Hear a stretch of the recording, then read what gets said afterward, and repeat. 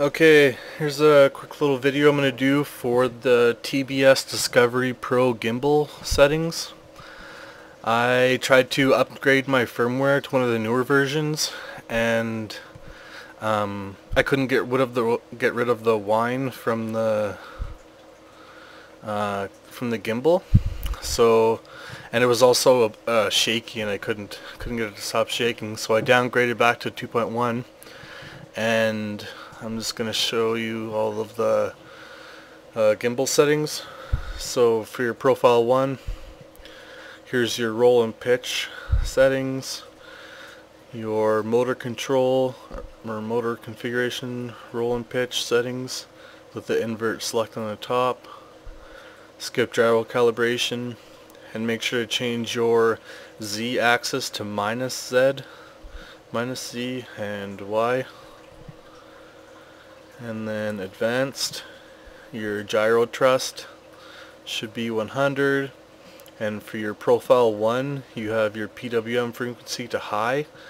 And that's when it's on the ground. And when it when you uh, when you take off with your quadcopter it changes from profile 1 to profile 2 so when you're profile 2 you can leave this to low.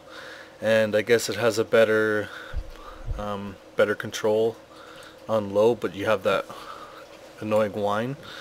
So on your profile one, you have it on high, so when it's on the ground, it won't be screaming at you. Um, that's pretty much it. And for your RC settings, uh, you leave it on PWM, even if your controller's PPM, like mine. Um, your roll and pitch settings are RC roll and pitch, and then your command is extension pitch, and that's to uh, tilt your camera up and down from your controller.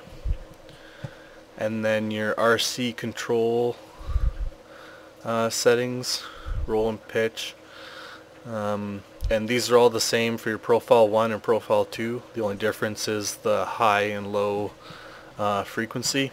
So when you're uh, when you're done that that's all the the settings you have to do. Your profile 1 you save your profile and then you write it to your quadcopter before you switch to profile 2 if you don't write it to your quadcopter when you switch to profile 2 it'll just uh, change back to default. So on your profile 2 you go back and you have to change all your settings to the same as profile 1 except for your profile 2 your PWM frequency is low.